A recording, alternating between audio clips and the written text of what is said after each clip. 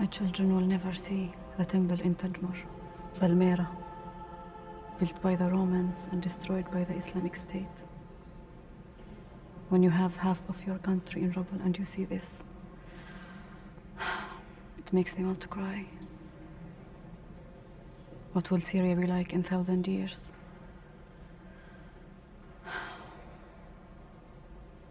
How many years to cut the stones,